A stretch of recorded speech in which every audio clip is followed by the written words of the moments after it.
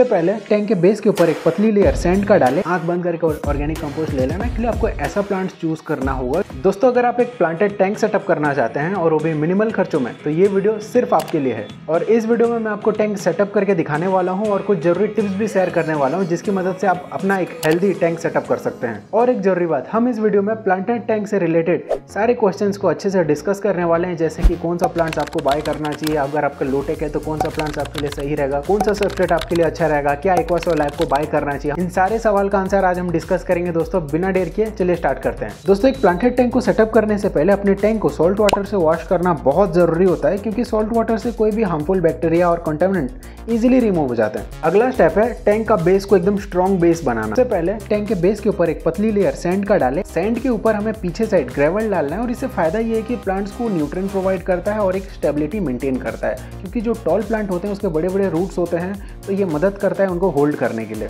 और अगला स्टेप है कि ऑर्गेनिक कंपोस्ट का लेयर डालना। इस कंपोस्ट को इवनली हमें हर जगह स्प्रेड करके डालना है और एक इंपॉर्टेंट टिप पीछे हमें कम से कम दो इंच तक डालना है और आगे एक इंच इस तरीके से डालने से क्या होता है ना ओवरऑल टैंक का जो लुक होता है ना, वो काफ़ी प्लीजिंग दिखता है और नेचुरल सा लुक आता है जब आप प्लांट करोगे तो। और ये जो स्लोप है रूट्स के लिए ज़्यादा स्पेस प्रोवाइड करता है ताकि प्लांट्स अच्छे से ग्रो कर सके और वाटर फ्लो को भी इम्प्रूव करता है। और दोस्तों, हमारे दो एक्सपेक्टेड भाई अमीन जैन भाई और राजवर्धन भाई का कॉमेंट था कि आपका टैंक सेटअप लाओ यार। अमीन जैन भाई तो कब से बोल रहे थे टैंक सेटअप का वीडियो लाओ यार। हम मेरे साइड से थोड़ा सा लेट हो गया। सॉरी भाई एक्चुअली लेट हो गया थोड़ा सा। और राजवर्धन भाई का सवाल ये था कि क्या हम ब्लैक सैंड से एक प्लांटेड टैंक सेटअप कर सकते हैं क्या?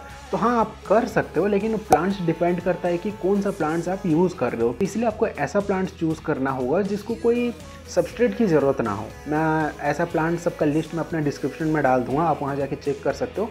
और एक सवाल ये आता है कि कौन सा सब्सटेट हमारे एक्वेरियम के लिए बेस्ट रहेगा? तो सबसे पहले ना आँख बंद करके ऑर्गेनिक कंपोस्ट ले लेना। आँख बंद करके ऑर्गेनिक कंपोस्ट ले लेना क्योंकि उससे बहुत अच्छा प्लांट ग्रोथ होता है। और रही बात अगर आपका बजट अच्छा है तो आप एक्वासॉइल में भी जा सकते हैं। ऑर्गेनिक कंपोस्ट की लेयर डालने के बाद अब हमें सैंड और ऑर्गेनिक कंपोस्ट को मिक्स करके उसके ऊपर डालेंगे। इस मिक्सचर को टैंक में इवनली हर जगह स्प्रेड करना है ताकि हर जगह प्रॉपर न्यूट्रेंट मिल सके और ये प्लांट को एक्स्ट्रा न्यूट्रेंट प्रोवाइड कर सके और अच्छा स्टेबिलिटी प्रोवाइड करता रहे।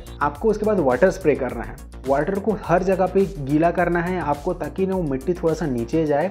नीचे जाने के बाद आपको ड्रिफ्टवुड सेट करना है और उसके ऊपर आपको कोई सा भी आपको सैंड यूज़ करना है। लेकिन अगर मैं आपको पर्सनली सजेस्ट करूँ कि कौन सा सैंड आपको यूज़ करना चाहिए तो मैं आपको बस इतना कहूँगा कि कंस्ट्रक्शन सैंड पे जाना अच्छा रहता है। सस्ता रहता है। सस्ता क्या यार? ईजिली मिल जाता है। ईजिली कहीं पर घर बन रहे, उठा के लेके आके बना दिए, बस खत्म। उसमें कुछ सस्ता फस्ता वो सब मत देखो यार। उसमें क्या अब ये देख रहे हो? देखो, अगर वाइट सैंड खरीदने जाओगे, अपने टैंक में तो नौ लीटर लगता है यार। मेरे टैंक में तो नौ लीटर लगता है। तो अगर आप खरीदोगे तो वैसे ही बजट जाना है। और प्लस ना, एक इसमें डिसएडवांटेज क्या है मैं आपको बताऊँ? अगर आप मान लो हाईटेक प्लांट सेटअप कर रहे हो, ठीक है? लाइट तो देना ही देना है ना। तो जब आप लाइट डालोगे ना तो वो सैंड क्या होता है ना हैंडल नहीं कर पाता है एलगी तो ऊपर में एक लेयर बन जाता है। वाटर फिल्ट्रेशन में अच्छा काम नहीं होता है। तो सैंड का काम ही ऐसा है ना कि वाटर फ़िल्टर करे वाटर पानी को साफ़ रखे। सैंड जो होता है वाटर फ़िल्टर करता है। तो वही काम नहीं हो पाता है जो अपना व्हाइट ब्लैक सैंड में तो इसीलिए मैं आपको मना करता हूँ। मैं यूज़ किया हूँ।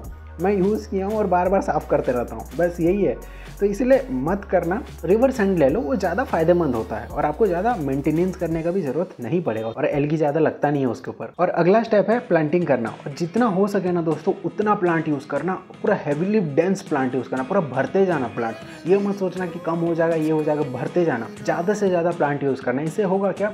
जब वो ग्रो करता है ना बहुत अच्छा दिखता है डेंस लुक आता है और बहुत प्यारा भी लगता है। जब वो ग्रो कर लाएगा तब अच्छा लगेगा। तो आपको ऐसा लगेगा कि नहीं यार, ये प्लांट ज़्यादा हो जाएगा। नहीं भाई तो लगा। यूज़ करना यार, पूरा भरना, पूरा प्लांट दबा के भरना पूरा, ठीक है? क्योंकि कम हो जाता है। जब वो ग्रो करता है ना, जब हैवी लुक आता है ना, एकदम पूरा जंगल जैसा तो बहुत अच्छा दिखता है। और दोस्तों प्लांट्स को जब आप चूज़ करोगे ना, बहुत केयरफुली चूज़ करना, ठीक है?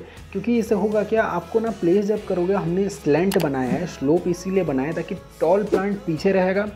थोड़े से मिड वाले मिडिल में रहेंगे और थोड़े सबसे छोटा वाले फोरग्राउंड में रहेगा ताकि आपका टैंक जो दिखने में ना बहुत अच्छा लगेगा। तो आपको अगर समझ नहीं आ रहा कि कौन सा प्लांट आपके लिए सही होगा, कौन सा नहीं तो मैं आपको डिस्क्रिप्शन में आपको सारा प्लांट का लिस्ट दे दूँगा। वहाँ से आप जाके चूज़ कर सकते हो। सेट करने के बाद आपको सी सिस्टम इंस्टॉल करना है। इससे प्लांट का ग्रोथ और हेल्थ दोनों बढ़िया रहता है। और दो वीक तक हम ऐसे ही रहने देंगे, उसमें फ़िल्टर ऐड करेंगे और ऐसे ही रन करेंगे ताकि प्रॉपरली साइकिल हो सके। और आप देख सकते हो टैंक में कुछ एलगी ग्रो हो गया और ये नॉर्मल बात है और एलगी बहुत बेनिफिट होता है और दो वीक के बाद हम अपने टैंक में फ़िश इंट्रोड्यूस कर सकते हैं।